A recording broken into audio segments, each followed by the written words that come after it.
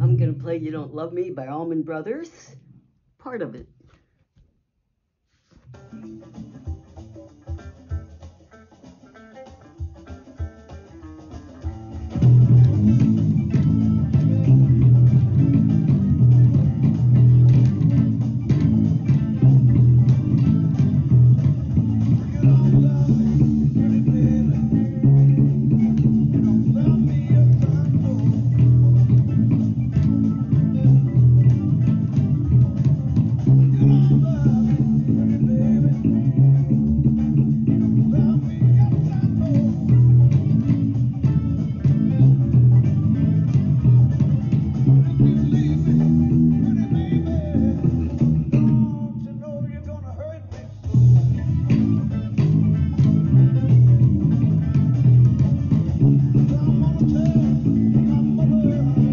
That's enough.